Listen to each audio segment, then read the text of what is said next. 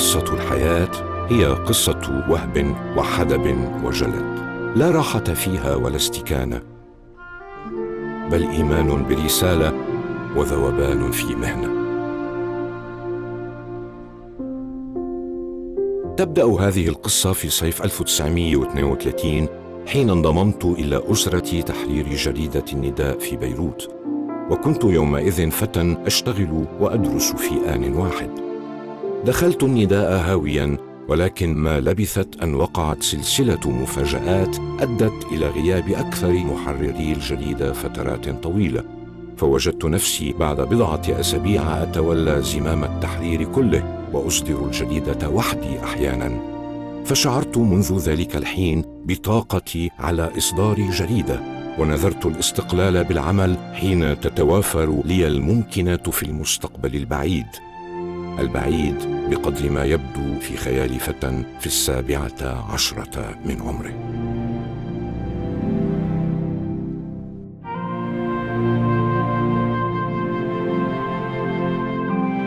ولد كامل مروي في عام 1915 في بلدة زراري في جنوب لبنان. وكان والده مغتربا في المكسيك. عاد منها إبان الحرب العالمية الأولى. ليستقر مع عائلته في مدينة صيدا. ولكنه ما لبث أن توفي عن عمر باكر. التحق كامل بمدرسة الأمريكان في صيدا حيث رأس تحرير مجلة المدرسة سنوات عدة. وتخرج بتفوق في عام 1932 فنال منحة صغيرة لمتابعة تحصيله العلمي في الجامعة الأمريكية في بيروت. غير أن شغفه في الصحافة وضيق الحال دفعاه إلى التخلي عن دراساته العليا ليتجه نحو الاحتراف الإعلامي. فبدأ بشق مسيرته الصحفية في جريدة النداء التي كان يملكها كاظم الصلح. قبل أن ينضم إلى أسرة النهار عندما أسسها جبران توين الجد.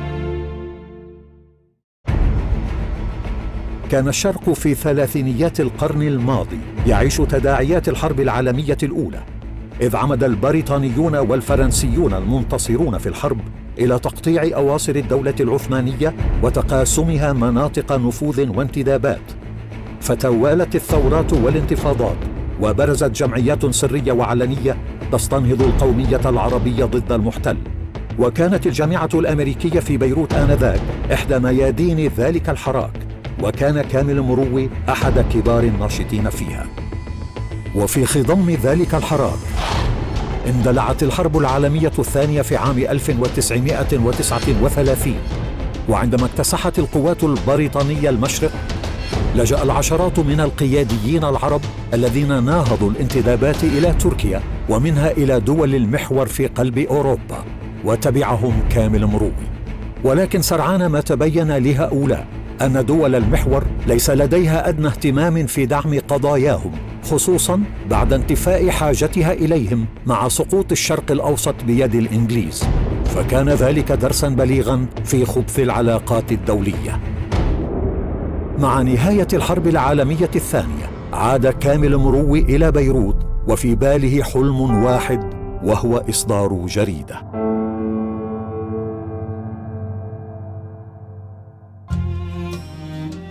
عدت إلى لبنان وقد عجمت الأهوال التي قاسيت عودي وزادت مشاهدات الأسفار خبرتي ووسعت المأساة العالمية أفقي. كان في بيروت يومئذ خمس وخمسون صحيفة يومية. مع ذلك قررت الإقدام على إصدار الجريده السادسة والخمسين وليس لدي من وسائلها إلا العزم. وقد شجعني المرحوم جبران تويني على المضي في مسعاي وأفرد لي في مكتب النهار في سوق الطويله غرفة لإصدار جريدتي منها. بعد المكتب بقيت أمامي مشكلتان تدبير رأس المال وتدبير رخصة امتياز.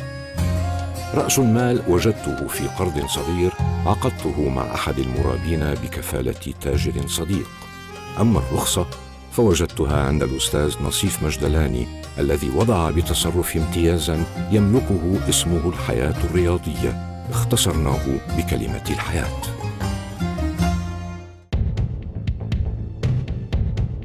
صدر العدد الأول من الحياة مطلع عام 1946 فتلقفه القراء بشغف كبير. كانت فعلا جريدة جديدة في كل شيء. كانت الحياة تطبع وتوزع باكرا عند الفجر. في زمن كانت أغلبية صحف بيروت تصدر عند الظهيرة. وكانت تغطيتها الإخبارية تركز على الشؤون العربية والدولية بينما منافساتها غارقة في السياسة اللبنانية المحلية. كانت الأخبار والمقالات فيها موجزة وتبويبها حديثا وتنتشر على صفحاتها البيانات والخرائط. في أشهر قليلة فقط تمكنت الحياة من الوصول إلى مصاف الجرائد الرائدة في لبنان مستقطبة القراء والإعلانات من كل حدب وصوب ومع النكبة في فلسطين في عام 1948 توقفت الصحف الفلسطينية في حيفا ويافا عن الصدور فلجأ عرب المشرق إلى الحياة كمصدر أول للأخبار فذاع صيتها وبات القراء ينتظرون وصولها كل يوم في القدس ودمشق وعمان وبغداد. وبذلك توجت الحياة الجريدة الأولى في المشرق. أكملت الحياة صعودها بعدما استقطب كامل مروي عددا من المغتربين اللبنانيين في إفريقيا الغربية لتمويل شراء معدات نشر حديثة وتشييد مقر مستقل لجريدته في وسط بيروت انتقلت إليه عام 1950 وكان هذا المقر مجهزا بأحدث ما وصلت إليه التكنولوجيا في ذلك العصر من أجهزة مسح الصور وماكينات تلقي أخبار الوكالات وآلات صف وطباعة. ولكن امرا واحدا بقي مستعصيا يومها على الحياة وسائر الصحافة العربية ولم يتيسر له حل منذ منتصف القرن التاسع عشر. وهو كيفية تنضيد اللغة العربية على لوحة المفاتيح اللاتينية المعتمدة عالميا والتي لم تكن تتسع لجميع أشكال الحرف العربي البالغ أكثر من مئتي شكل. فانكب كامل مروي على حل هذه المعضلة. وفي عام 1956 أطلقت شركة Linotype البريطانية الحرف العربي المختصر بناء على تركيبات اخترعها مروي بنفسه. وكان هذا الإنجاز البداية الحقيقية لدخول اللغة العربية وأخواتها كالفارسية والكردية والأردو إلى عالم الطباعة الحديثة والرقمية. في مطلع الخمسينيات أصدر كامل مروي صحيفة The Daily Star وأتبعها بجريدة Le Matin وكان الناشر الأول والوحيد في تاريخ الصحافة اللبنانية الذي يصدر ثلاث جرائد باللغات العربية والإنجليزية والفرنسية في آن واحد. وبحلول الستينيات سارع إلى شراء واحدة من أولى المطابع الملونة في العالم من شركة Goss International الأمريكية. فكان من السباقين عالميا في الانتقال من الطباعة بالأبيض والأسود إلى الطباعة الملونة.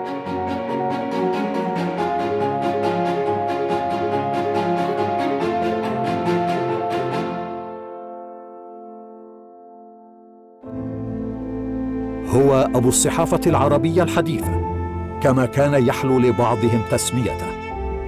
وما كان ذلك إلا بسبب شغفه بهذه المهنة. جريدته كانت جريدة العصر الذهبي في لبنان. كان اللبنانيون يقرؤون على صفحاتها أخبار تألقهم وزهوهم من مشاريع البنى التحتية والاقتصاد المزدهر إلى المجتمع الجذاب بإبداعه الثقافي وفنه الجميل. كما كانت جريدته جريدة فلسطين. وإذا كان هناك من مرجع موثوق وواف في الإعلام العربي لهذه القضية منذ بداياتها فإنها الحياة قبل أي مرجع آخر. وامتازت الحياة على نظيراتها بشبكة مراسلين واسعة منتشرة في مختلف أرجاء العالم.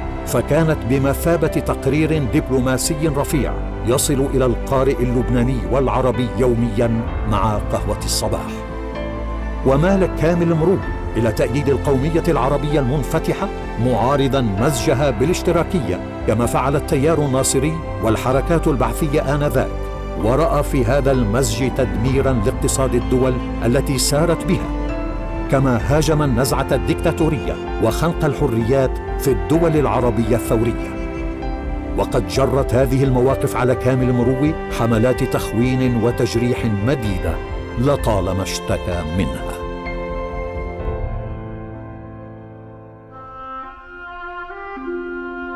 ليس في المشرق العربي صحيفة ساهمت بالنهضة الصحفية العربية في جميع حقولها بالقدر التي ساهمت به الحياة.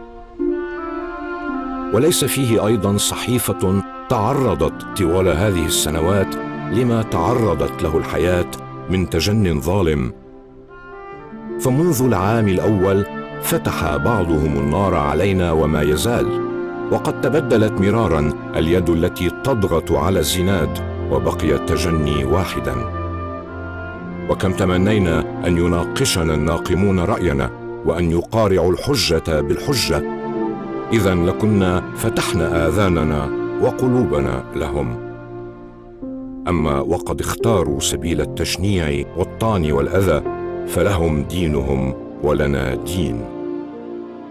أما نحن فسبيلنا التنوير والتحليل. لنا رأي ولنا اجتهاد. وسنظل نسير في نهجنا هذا إلى أن يقضي الله في من يشاء امرا كان مفعولا.